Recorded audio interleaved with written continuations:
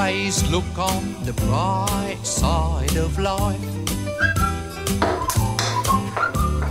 Always look on the light side of life. hello everyone, Darren from Beer Sweden here.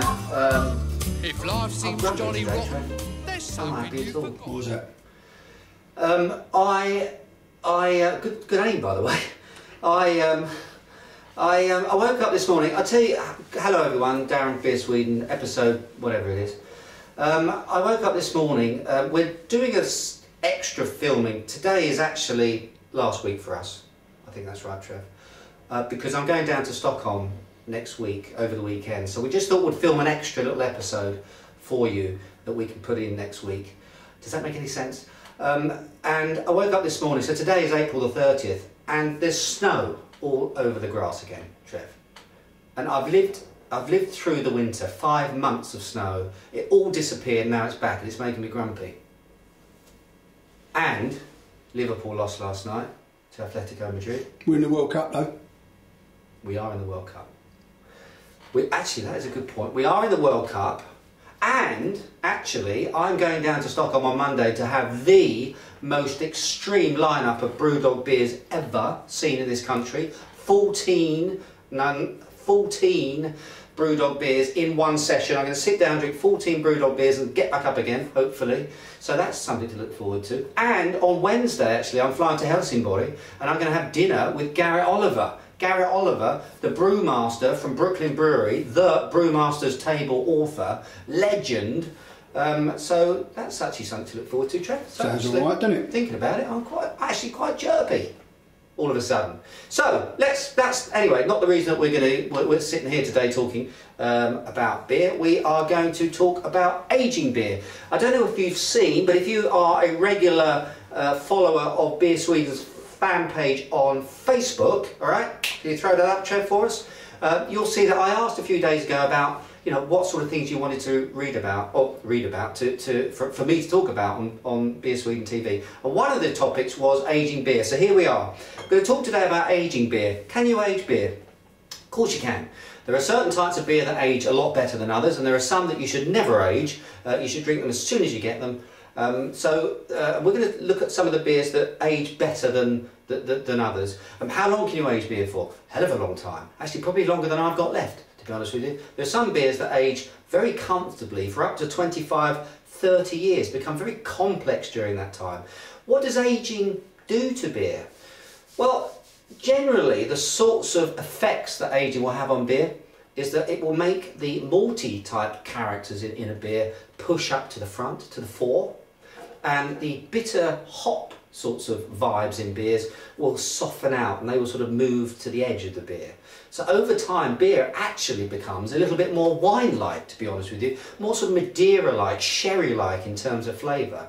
But this only happens to certain types of beer. So um, let's have a look at the types of beers that we can age. Uh, sort of golden rules of aging beer. Rule number one, beers with a lot of hoppy content, with a hoppy type of character, don't age very well. Okay, because hops over time kind of break down, they degenerate. Uh, the you know the fun of hops often is the spicy sort of bitterness behind them, uh, but over time that dulls down. So um, beers like IPAs, for instance, um, APAs. I think we tried Sierra Nevada on the show just the other day. Uh, the Pale Ale, fantastic when it's fresh, zingy, lively. Wow, give that two or three years and it suddenly becomes flat and boring and uninteresting. But like Trent, sometimes when he's a bit grumpy. Okay, pilsners, uh, lagers. Um, you know, light beers like that, absolutely not the sort of things you want to be aging at all. Uh, you know, they're supposed to be drunk fresh, um, so don't even think about uh, putting those away, cellaring them. Um, so they're the beers that you shouldn't age. But what about the beers you should age? Well, here's a sort of selection of some of them here. And I'm going to hold them up for you, Trev, and just go through them. Um, the first one, am I there? Can you see that? The first one is a Trappist beer.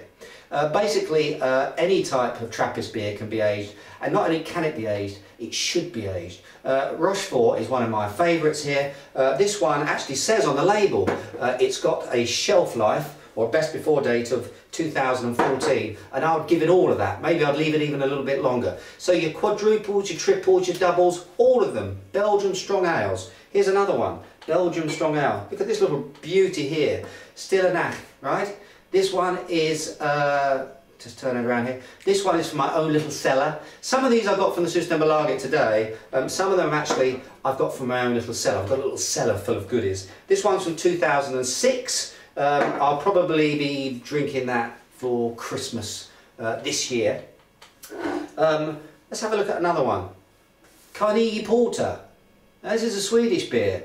Quite light in terms of ABV, 5.5%, but it does age actually pretty well. I drank a Carnegie Porter that was from 1978 last year, uh, and it really was still a very drinkable porter. Very smooth, uh, all those sort of rough roasted flavours had rounded out quite nicely. It was like drinking Oh Boy for grown-ups. It was absolutely beautiful.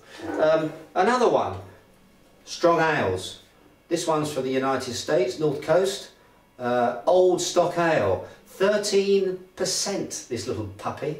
Um, I've had this since 2006, another 2006er. Actually got dust on it. Look at that, Trev. Look, huh? Talk about wine. Look, we do it here with beer. Um, perhaps one of my clap. Well, I don't know where to go next. Fuller's Vintage Ale. Every year this comes out, people. It's a good one. I recommend that you buy one of these every year and keep it. Um, and perhaps my favourite, favourite ageable beer, barley wine. Uh, barley wine, which is a beer, uh, despite the name, um, tends to be incredibly strong, um, normally starting around 9 to 11 to 13 um, degrees in terms of alcohol. This one's 11.7%. Uh, Thomas Hardy's, it's a classic in the beer world. Uh, unfortunately, this may be the last year that they've actually produced them, but I've, I managed to get my hands on a few of them. This one is from 2005. It's already got five years under its belt, and I'm going to give it at least, Trev, another 10. Okay, I'm going to give this one, I'm going to let it really express itself. Um, and finally here, um, I've got um, a beer that a lot of people um, forget to age, but um, lambics, gueuzes, uh, these types of beers uh, really do benefit from a few years. Um, they attenuate beautifully and that means that any of the yeast that's still in there attacks what's left of the sugar and it makes it very sherry-like. Uh, almost dry, sort of bony dry sort of finish to it. So that also is a beer that ages very well. Um, there is a golden rule, or there is a general rule about aging beers. They should be 8% and above. I don't necessarily believe that, and I wouldn't, I wouldn't recommend you get hung up on it too much. Carnegie Porter, for instance, 5.5%, but it does age well. But I do believe malt, malt characters, because malty beers, they age better, as I say, than hoppy beers. Um, that to me is a better rule. Um, corks. Do you lay them down or, or, put them upright? I tell you what, put them upright. Because corks these days, quite frankly, they're so well done that there's going to be very little chance of shrinkage or anything like that. So it, I recommend absolutely that you store your beers upright. Um, enemies of aging. What sort of things should you avoid when you're trying to age beers? Well, there's three major enemies of aging. Number one is your willpower okay? Uh, I can promise you when I went to get this bottle, or not that one, this bottle out of my cellar, I was looking at all the other bottles and I'm pretty tempted to crack one open after this show. So you're the number one probably biggest enemy of aging beers. Number two, light. Make sure that your beer is not stored under a strong light source because light is the enemy of beer. It can get to it and it can start breaking it down. So light is important. Make sure it's in a dark, cool place. Temperature is another one. It really doesn't matter what temperature it is. Obviously, the warmer it is, the faster the beer evolves in the bottle. We'd recommend somewhere between 50 and 60 degrees Fahrenheit is ideal cellar sort of temperature. Uh, the main thing is it's consistent. You don't want peaks and troughs of temperature. Make sure it's a consistent, stable sort of environment.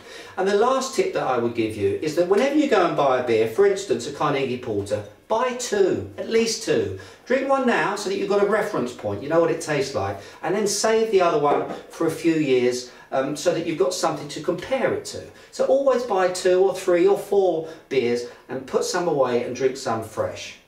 That's it really. That is my lady beer. Now normally I'd say cheers and beer Trev. I don't know what to do now. What should I do? Good luck England. Good luck England. Good luck. Well it's not yet is it? We've got, we've got a little way to go. But I'll tell you what. anyway, um, I'm off to Stockholm now to have a little bit of fun, uh, but we'll do check back next week because we've got a lot coming your way on Beer Sweden TV. Until then, cheers and beers.